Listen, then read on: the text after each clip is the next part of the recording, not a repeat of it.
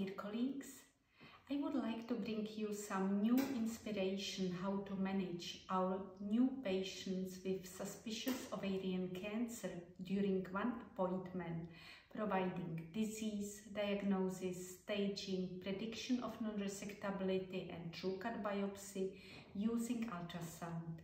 See you on 26 May.